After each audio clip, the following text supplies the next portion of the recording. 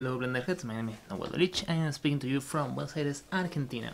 In this video tutorial or bit quick video tip, I'm going to show you how to use this uh, interesting option called cut off under the max pressure mode. And uh, first I'm going to try to display more or less what is what it is and then I show you an example and hopefully hopefully we are going to some of you may got or may get some new interesting ideas about how to use this interesting option that actually was added on the Blender 2.72 uh, with other many uh, great tools on the paint uh, and the texture paint um, mode. But this one in particular was uh, some kind of avoiding me and today I recognize or I, I realized how to use it and what was it this done so I went to probably put here a number on the time of the video where I show the example. But first I'm going to try to display what this is and and, and what this is basically how does this work. Uh, what you are going what you're seeing here is this simple scene where I used to get this simple um, brush stamp. These are some these are some some cones with different height an orthographic camera. And then I did a normalize uh, node to get the set value normalized and get this black and white image to get uh, the, the height of the spikes. But we're going to see more about this later. First I'm going to jump to the uh, demo pincel. And what I'm going to see here is more or less I'm going to try to explain you how this works. First, under texture paint, we have the traditional option that is um, create mesh, kataka. It's going to take a second. Not simply long displays. I don't care. Okay. First, we have. Uh, I'm going to, to use rain uh, we have our traditional uh, radius and strength. We're going to focus on radius to this sample and then we're going to I'm going to show you the, the rest okay? So if we paint using the radius we're going to see hopefully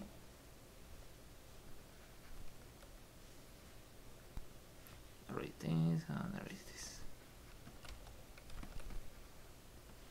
Ah there we go lazy mouse on. If I use pressure and size, sorry, we're going to see that more than I pressure the pen, more than it grows, okay? Now, if I select this brush, we're going to get this. What is happening here? I'm going to show you with this uh, more uh, bigger brush that I uh, more or less set up.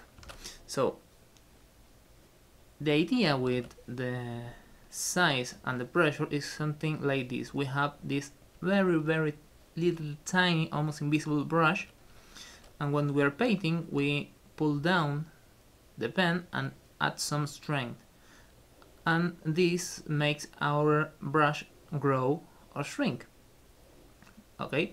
This is uh, what this um, extra strength feature does. The same with the with, with the opacity. Only applies on the overall opacity of the brush. The cut up off option works a bit differently. When you set up uh, a texture mask you uh, have the possibility to enable this cut off or ramp, which are with option that we are going to see, but interesting one here is cut off, uh, unable to, to be used. If you set the same on their texture, you are not going to see it. This is because texture is to, trans to transfer this particular texture into the canvas and texture mask is uh, made to be used as a, a brush a brush stamp okay so these are uh, texture, texture mask and texture are two different, completely different things. now what is going to happen once I uh, set up or turn on cut off is as I said something a bit different.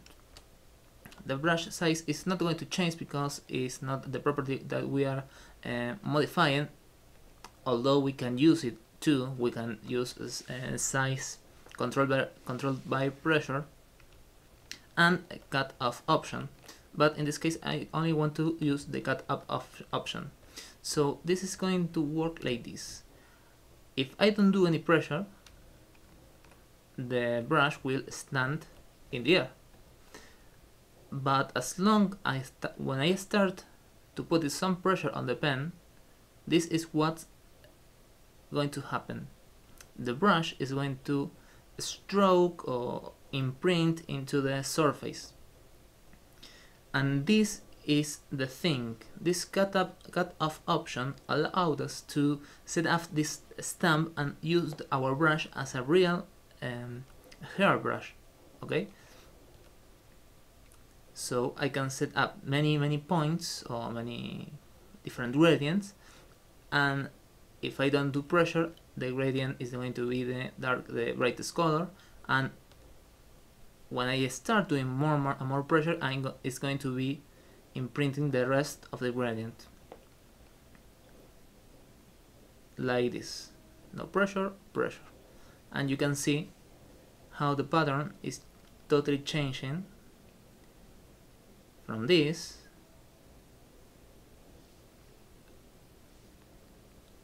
to this. Okay this was uh, size pressure and this is with this option of cut off. So again if you understand this we can I can we can see again the uh, first scene.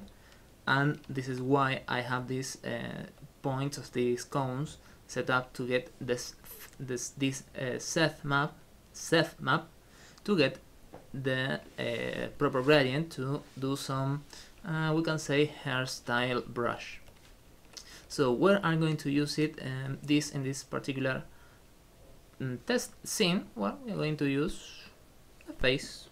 Why not? Okay it's not the best face of all but it's going to work for this uh, tutorial. So I'm going to set up a texture mask as my hairbrush which as you can see does not work well because we also need to set up to view plane. We also need to turn cut off. But we want to lay it off by now. And we want to grow this a bit more. Also you can see that it's doing some strange thing here. And this is because this is set to the stroke to space. If we want to do something like this with a stamp so scattered we need to do some more tidy space option. And you start to see that, that the thing is becoming slower so I'm going also to turn on the smooth stroke to have a bit more of control. Also I'm going to turn on off uh, strength and, and radius because as I said we're going to control the thickness of the strands using this individual gradient. Like I would want to to do. And you can see that nothing happens and this is because I got it off. I got it off. When I set up cutoff to the pressure you can see the difference. Okay this is off and this is on so what I'm going to do is to try to paint some small hairs but mm, doesn't look nice right? Uh, the problem is that this is a texture mask so in this area is going to paint white because the mask is setting um, the gradient is full and it's painting the color that I have here. So also I'm going to set now the texture to be the same of the hair. So if I paint I have the problem that, that I had before so also set the texture to view plane. And now we start to have some uh, volume. This is because there are many many many many stamps put one over one all over all over the other one and we get this some kind of shading. And now we can start doing some hair that as I see is too too small so it's not going to be, look great. So I'm going to go to ah that is why it was so slow. I was painting on both symmetries.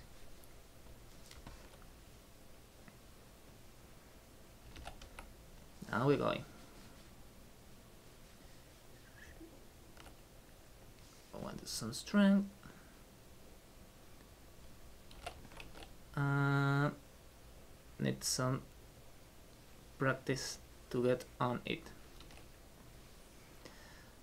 But the idea is more or less what are you seeing here? And the idea of the cutoff is to use the gradient of the tool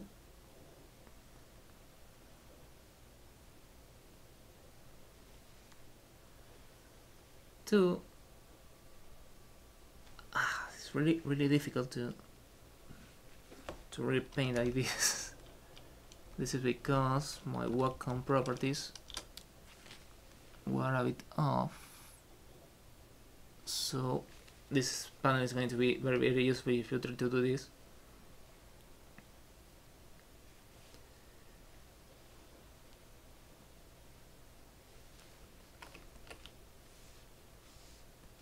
Mm, well as you can see here I'm suck at I, I'm suck I, at painting. My main skill is modeling.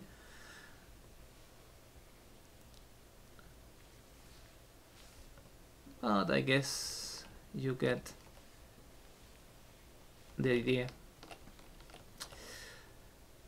Other other places where this can be useful is to some grass. Nice I'm sorry if I stop speaking, but I need to concentrate and control the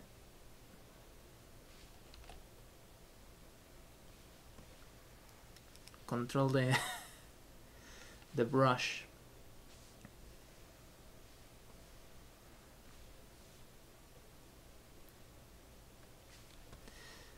But yes, more or less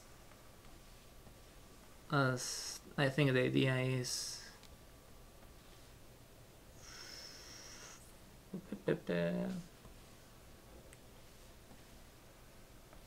I guess the, the idea is there uh, using the well, as I said the gradient to control the input of the painting. Unfortunately this tool only works with uh, pressure input devices like Wacom or other stylus pen. So it's going to be a bit difficult if you're using a mouse to use this because it won't work at all.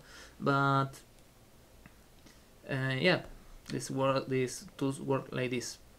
Um, ramp is more or less the same but it focuses it gets focused on more on the gradient to do the stamp than the example before uh, I showed you before with this kind of hairs.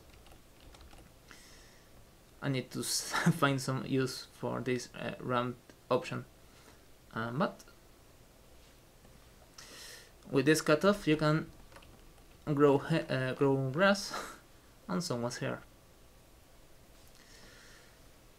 So I think this okay now, I'm playing a bit. But there are no more interesting info to add. Oh yes there is more inter interesting info to add. I'm going to do with some time a bit, a bit more practice a tutorial series about the texture uh, paint uh, tools. So um, if you want to see what I, are these videos about um, just subscribe. I'm going to upload it in this account on YouTube. And here it is my quick punk half head grass hair draw done using the cut off option inside the painting texture module inside Blender. I hope that this is, or I hope actually that this wasn't confusing at all and give it a try to this tool if you have a pen it's really really handy and really interesting to, to play a bit. Uh, thank you and um, see you next time. Bye.